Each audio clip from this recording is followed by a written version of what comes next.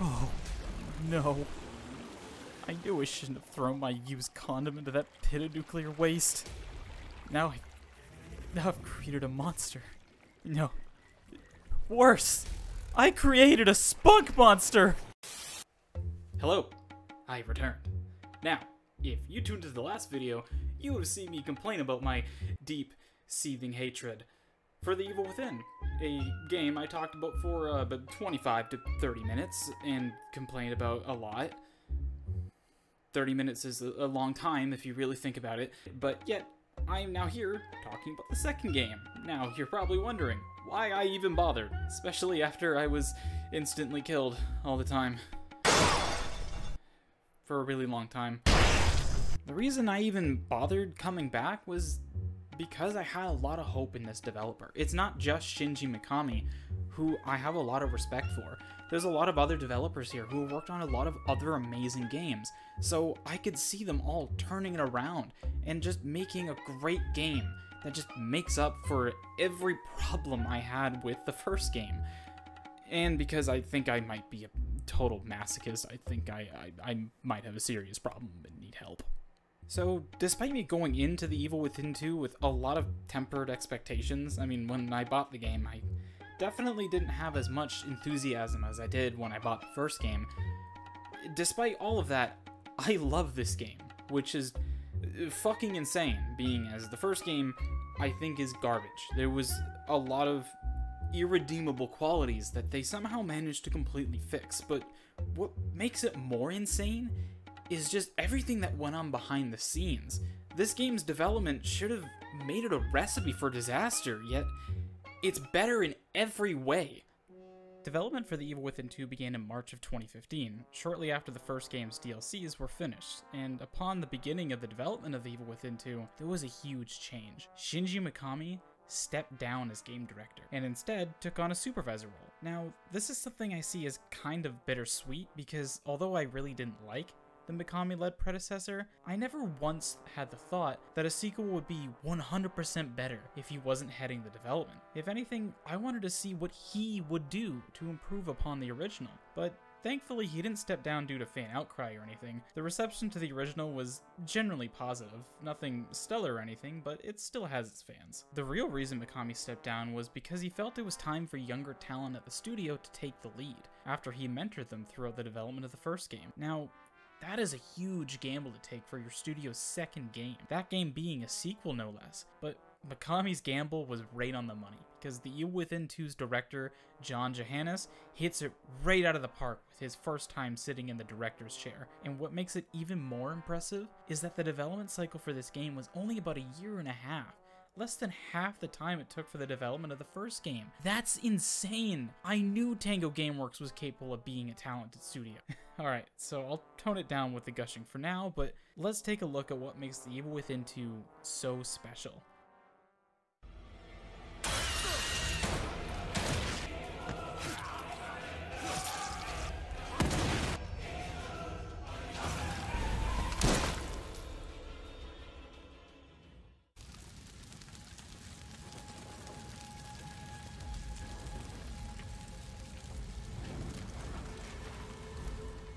The Evil Within 2's truncated development cycle wasn't the only thing that was going against the game before its release. The original Evil Within's reception wasn't exactly the best. The main reason for the game selling as well as it did largely had to do with Shinji Mikami's pedigree, and with a lot of the marketing taking advantage of that fact. The critical reception was nowhere near bad. Like I said, it was actually generally positive. No one hated the game or anything. Actually, my hatred of the game actually puts me in a pretty small minority, but there were many who were disappointed by the game we got. So convincing people this one will be better is it's a huge ask. The odds against The Evil Within 2 would begin to increase as more information regarding the game would begin to come out, with that information being the confirmation that The Evil Within 2 was incorporating open world elements into the game, something that sounded like a step in the wrong direction in terms of ways to improve on its predecessor. The Evil Within 2 was both announced and released in 2017, and by that point, the open world genre was beginning to become so stagnant. Hell, we're in 2022 and it's still a stagnant genre. But we had gotten so many games whose open worlds failed to keep us engaged with their huge, empty maps filled with useless collectibles and boring side quests, with only The Legend of Zelda Breath of the Wild finally doing something fresh and new with the genre the same year the Evil Within 2 released. So the sequel to a game that was originally linear in structure, incorporating open world elements, really didn't inspire much confidence from players going in. All in all, hype for the game wasn't anywhere near as enthusiastic as it was for its predecessor, due to there being a lot going against it. But this is partly what makes this game such an amazing achievement. It defied all the odds and actually managed to be an amazing game, with those worrisome open world elements actually being one of the stronger aspects of the game.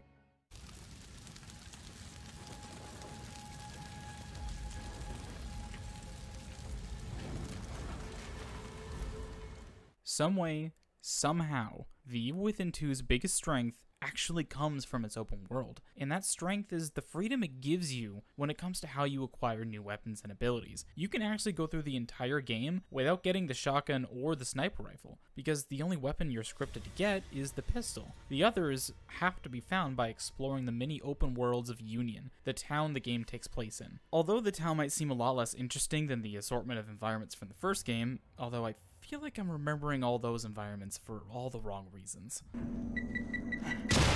The town of Union actually has a lot more going on than one would think at first glance. Union, huh? Looks like any town USA. It was designed that way to keep the test subjects calm and relaxed. Calm and relaxed. The exact opposite of Beacon. Union was built as a stereotypical sterilized American town so that its residents will stay happy, calm, and easy to manipulate. But now that everything has gone horribly wrong, monsters roam the streets, and many of these once lively places are now abandoned, with text and audio logs giving much richer context and world building about the town than anything we ever got from the first game. Many of these logs can either present the stories and fates of the residents of Union or can help guide the player to locations that contain valuable items or upgrades. Actually, engaging with these collectibles isn't mandatory, but they definitely help enrich the world and make progressing through the game much more exciting as you have a lot more options when it comes to weaponry you really get what you put into it when it comes to exploring both of the game's open areas, and thankfully, fully exploring the areas isn't that big of a task because the two large areas we get are actually quite small, but they make up for their small size with how dense they are in terms of side activities. Unless I can figure a way out. How is that possible? You really want me to waste your time talking a bunch of technical gibberish? Yeah, there, there's actual side activities within the game, along with collectibles, new weapons, and upgrades. But say you didn't really want to do all that much exploration you could actually just skip straight to the main storyline and give yourself the more linear horror experience we got from the first game. And although the game might be a little bit more challenging, being as you'll be missing some weapons, the game won't stop you. But if you do choose to engage in the side activities, you'll find essential weapons like the Warden crossbow, or if you really want to go the extra mile, you can get yourself a makeshift flamethrower, or discover world events, or use the extra brain fluid you'll be collecting to potentially purchase the ability to slow down time? Yo, that sounds awesome! Yeah, don't worry, this isn't something that'll break the game's balance. Most people will never get this ability on their first playthrough unless they're really trying for it. But it is really cool that it's there and definitely encourages a second playthrough to try it out. The world truly is your oyster in this game, catering to both the people who want to take their time with the game along with those who only just want to experience the main story, with both of them being a valid option. The latter option is shockingly valid, honestly, because the story and characters in Evil Within 2 are unexpectedly good.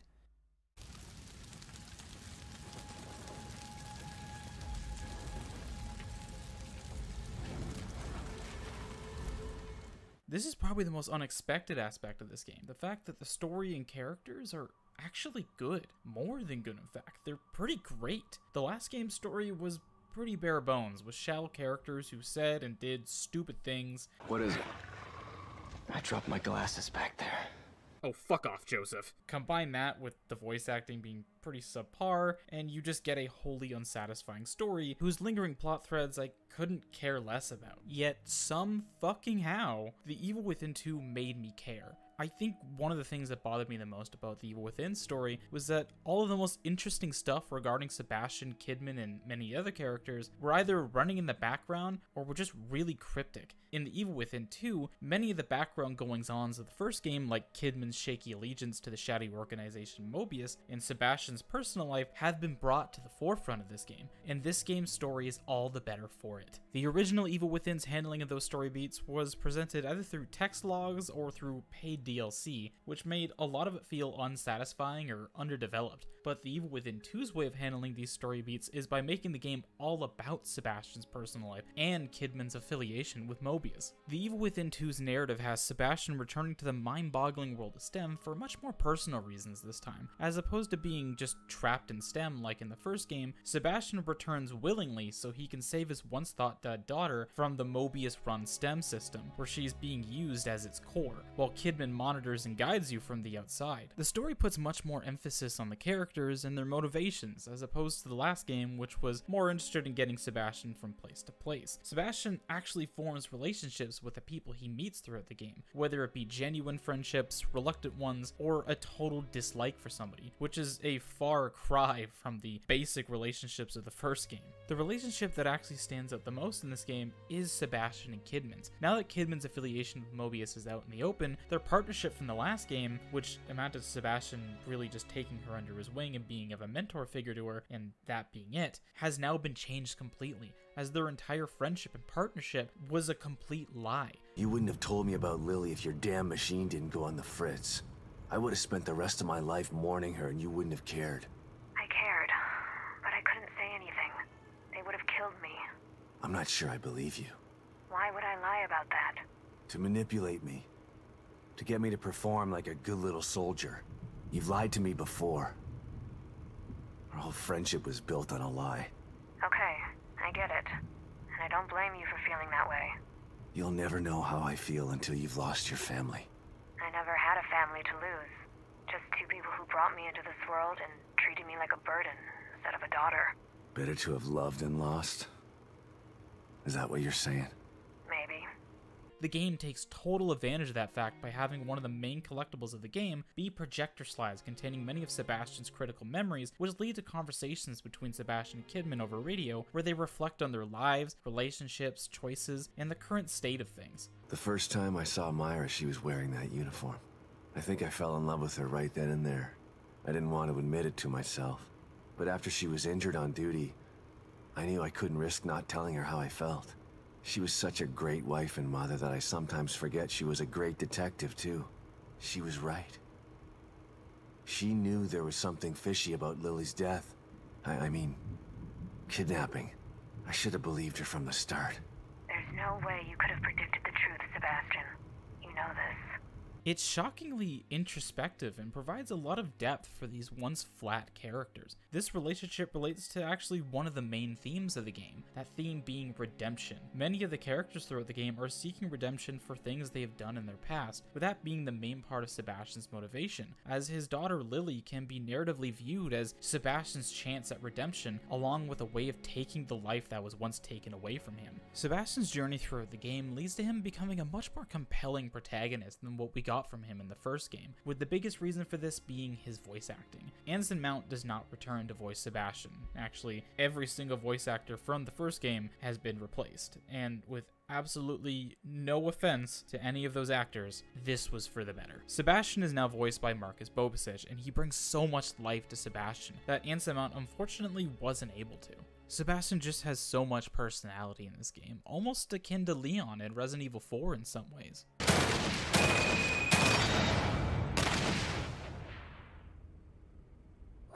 Not bad.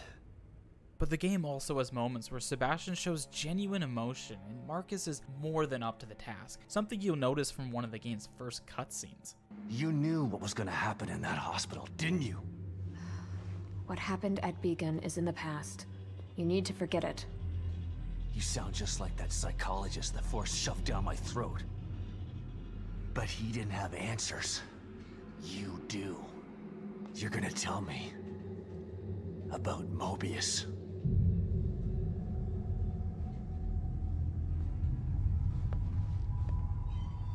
Hmm.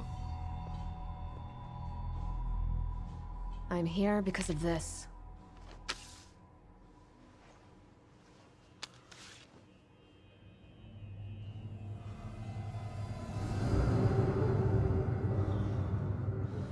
Where did you get this? Lily's still alive.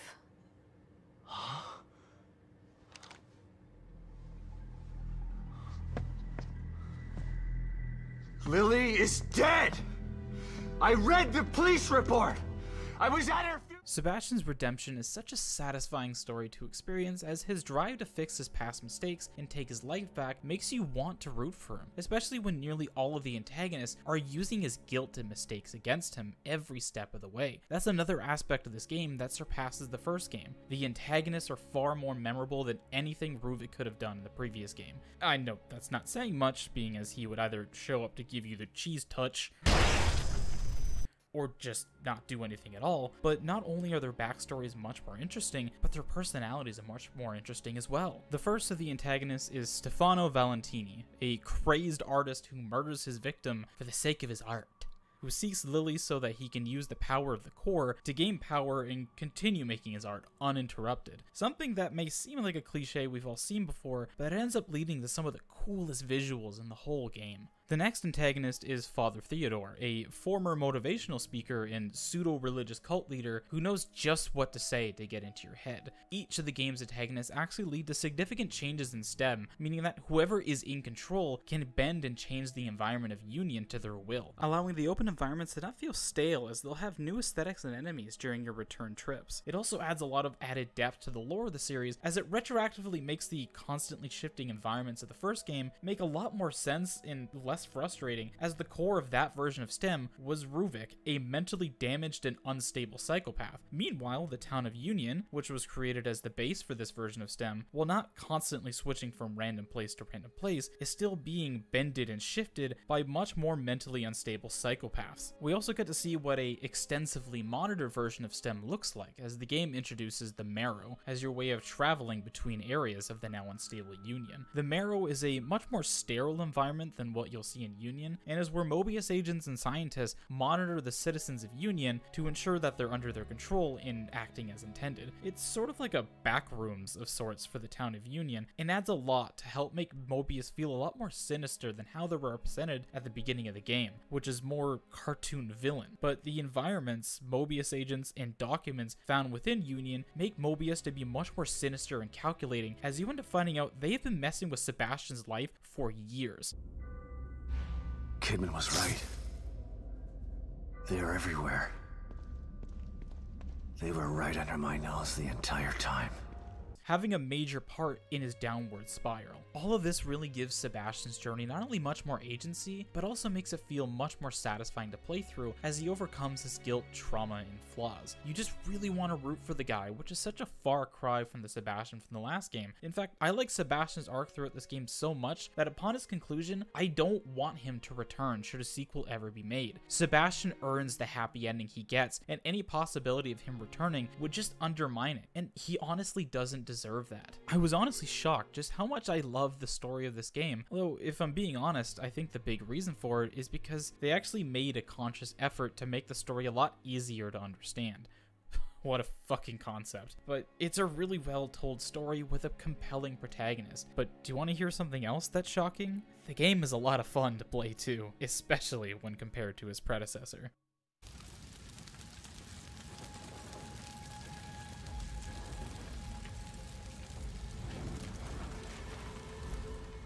Wow, who would have thought putting less bullshit into your game would actually make it more fun to play?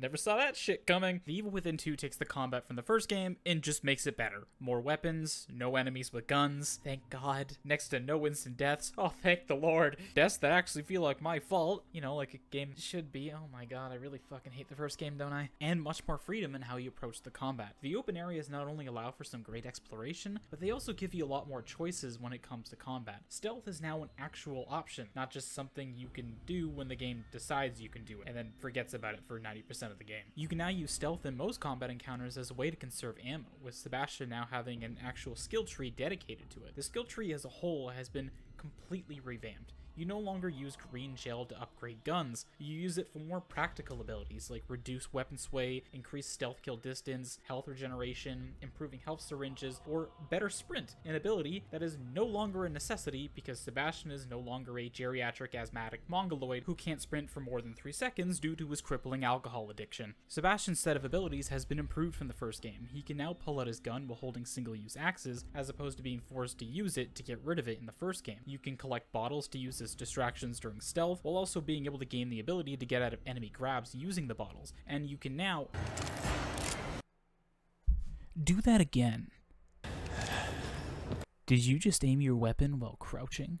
No fucking way he can finally do it. He can do anything while crouched. Use his gun, throw bottles while crouched, use health syringes, throw grenades. They took out grenades. Are you fucking serious? Sebastian can also roll over the hoods of cars while sprinting away from enemies. That's pretty cool. Why did they take out grenades?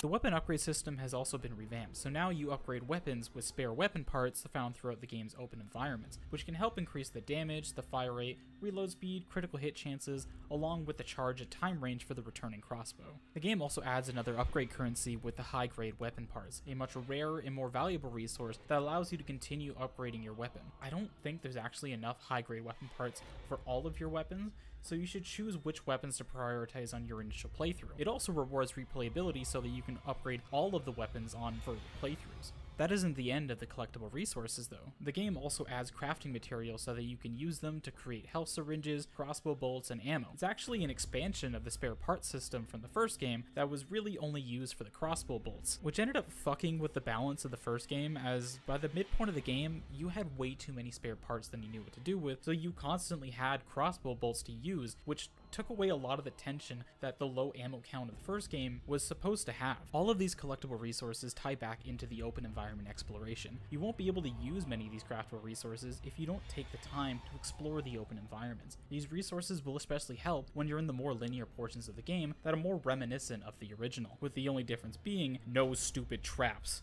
The linear chapters of this game are just so much more fun to play than the original because things are actually working as intended. No crappy hit detection, no whack ass traps. If anything, this game makes fun of those dumbass traps.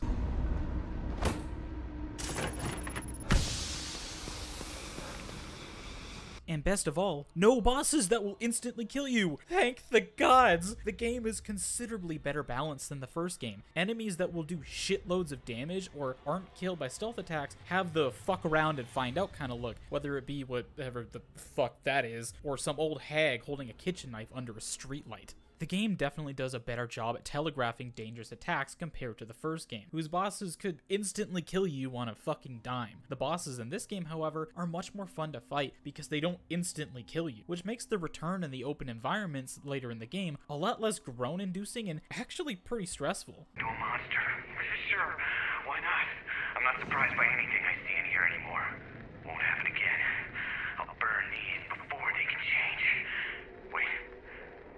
That arm just twitch? Shit. No. Oh god. No. Ah! Ah!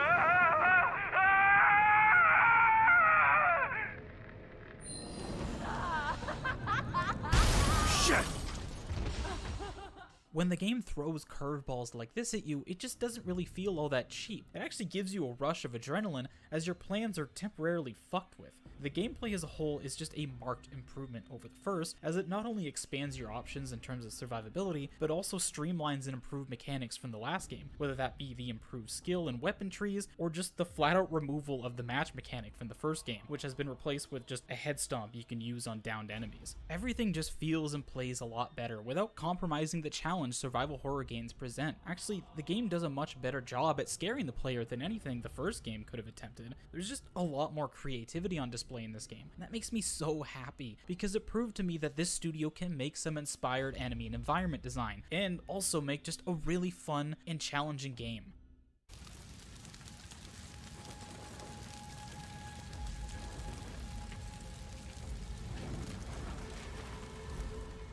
While the last game felt cliche and had bog standard enemy and horror design, Eve Within 2 has some good scares and great enemy and environment design. Right out the gate, the game has you enter STEM by way of this weird between worlds area that is dark, damp, and wet, with your only option being to move forward. It's a pretty great way to begin, as it gives off an air of mystery, as you really don't know what to expect from this game. From Sebastian's point of view, he's re entering what he sees as the nightmare he barely survived only a few years ago. But from the player's point of view, we're not really sure what to expect because of just how different the opening to this game is compared to the first game. This time, we're entering STEM voluntarily as opposed to being forced in like in the last game, so we're not really sure what will happen once we find something in this dark place. And what we do find is the game's safe area, which turns out to be Sebastian's office back at the Krimson City Police Department, a marked improvement over the last game's mental hospital safe room. There's just much more personality in this room. You have walls of notes connected with red string, with information that pertains to what Sebastian is doing, whether it's information on the Mobius agent stuck inside STEM, the town of Union, or the background of the game's antagonists. The safe room does a lot to develop Sebastian, as it's based around his memories, with the projector slides only being viewable from his room through the use of the projector.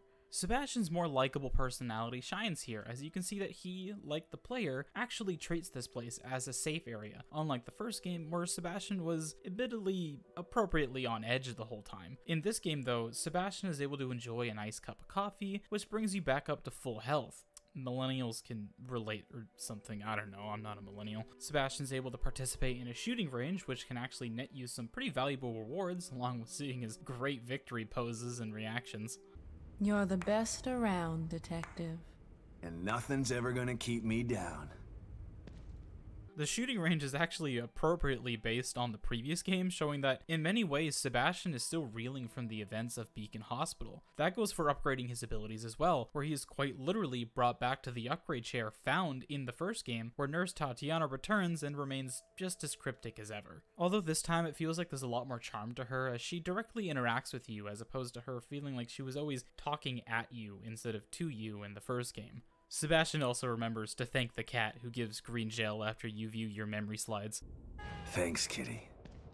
Sebastian's such a great guy. I don't even know why there's a cat here, but after playing the game, this safe room would just feel weird without it. Once you leave this room, you'll find that many of the environments are a huge step up from the last game, with Stefano's areas being a highlight, which have great uses of the colors red and blue, with the color red representing what Stefano has dubbed his Crimson period, a reference to Picasso's Blue period, and the blue being used for these amazing looking sequences where Stefano's victims are frozen in time, forced to live these Instagram boomerangs for the rest of time. Stefano's areas also give way to the best scares, as he has two major boss enemies at his disposal. The first being the Guardian, which is a manifestation of one of his art pieces, and then there's the Obscura, the highlight of the game's enemy design. This boss enemy not only looks incredibly fucked up, but it sounds or just something else, man. It's like a conscious being caught between pain and pleasure, and it just makes you uncomfortable.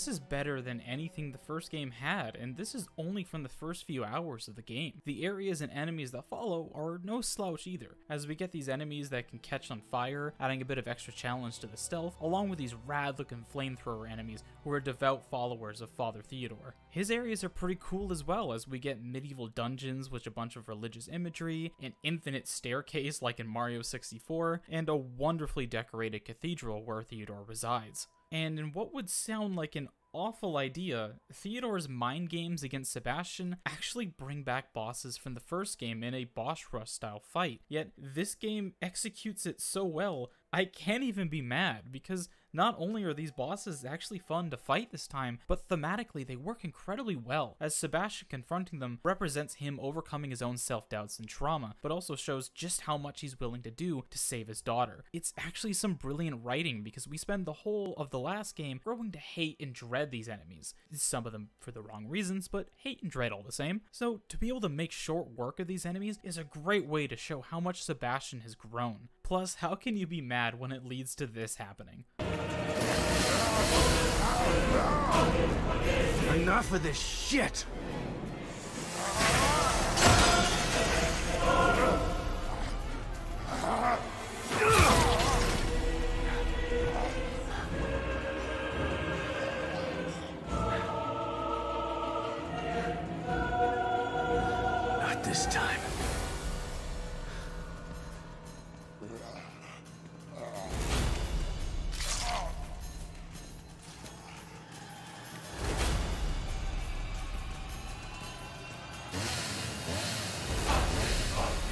Think this will stop me.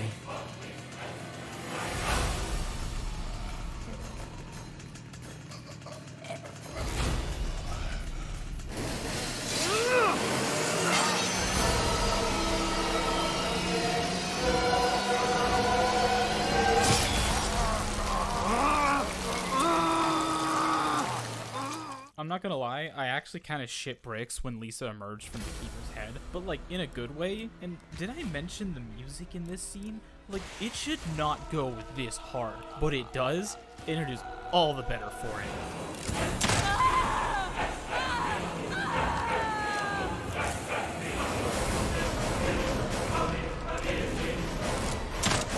All of this leads to some of the most beautiful and serene environment design I've seen in a game, as the final antagonist takes control of the STEM system, and what we get is just this white, barren wasteland with nothing but a house and I'm assuming the mystery box on the horizon, bringing us a wonderful and emotionally resonant ending that I won't dare spoil. The Evil Within 2 carves out its own identity, which is such a breath of fresh air, especially when compared to the last game, which tried way too hard to recapture that Resident Evil 4 magic. The Evil Within 2 just has a lot of personality, one that even separates itself from the game series it was inspired by, making it a game that I'll remember fondly for quite a long time.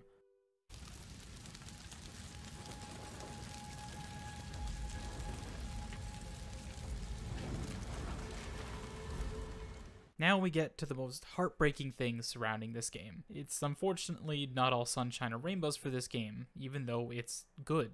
Great. I love this game. It was my third playthrough, and I expect myself to do more in the future. But the legacy of the first game rears its ugly head here, and it prevents it from becoming the success it deserved to be. Like I mentioned before, the first game was a financial success, and although it wasn't a critical darling, and I can't confirm with 100% certainty those high sales were because of Shinji Mikami Mikami's reputation, that success got a sequel greenlit. But the watchful eye of their publisher Bethesda caused the game's development cycle to be rushed. That rushed development cycle led to the aforementioned year and a half development time. That means the Evil Within 2 still has some bugs, shockingly nothing game breaking, especially when you hear any involvement from Bethesda, but there's still some that are noticeable, like some AI pathing issues, or this weird one where the ghost that can spawn in and stalk you throughout the open environments just wouldn't go away until I ran an absurd distance away. The game unfortunately didn't get the chance to fix some of these bugs because any further development on the game ended not too long after the release because the game didn't really sell all that well compared to its predecessor, with sales in its first week being being estimated to be a quarter of what the first game had in its first week. We've actually never been given an official sales number for this game. The critical reception of this game wasn't gonna light the world on fire either. With them being nowhere near bad, the game hovered pretty comfortably around an 8 out of 10, but for some people burned by the first game, 8 out of 10s don't really sell people on a sequel to a game that they didn't really enjoy or were disappointed by. And it's unfortunate because the game, all these years later, is still one of the better horror titles I've played in recent years. So I implore people to give this game a try. If you're a masochist like me, play through the first game to get the most out of it, and if you're a normal person, you can quickly brush up on the story and lore. You don't need to worry, it's not this master's thesis worth of information like Kingdom Hearts or something where you're just blasted ramblings about the darkness. Say, fellas, did somebody mention the door to darkness? It's a pretty accessible sequel for newcomers, so I definitely recommend what I now consider to be a horror cult classic. Who knows? It might just be your next favorite. And the video's finally done. So that was The Evil Within 2, one of the better horror games to come out in recent years. Although I do struggle to call it the best horror game of its release year because, well, I forgive you for forgetting that another prolific horror series did return. I mean, I forgive you for forgetting because 2017 was just this absolute jam packed year for gaming. How naive we all were, thinking it only gets better from there. But yeah, in January 2017, a certain entry in a prolific survival horror series released, bringing the series back to its horror roots after Shinji Mikami shifted it more towards an action focus. That's right, I'm talking about Resident Evil 7, the amazing return to form for the series that sold less than its predecessor despite better critical reception. Now that I think about it, the Evil Within 2 and Resident Evil 7 actually have a lot more in common than I thought. unfortunate as it is that The Evil Within 2 and Resident Evil 7 didn't get to share the same commercial success, it's pretty easy to see why Resident Evil 7 would be the more successful title. So join us next time as we take a look at Capcom's modern horror classic with Resident Evil 7 Biohazard.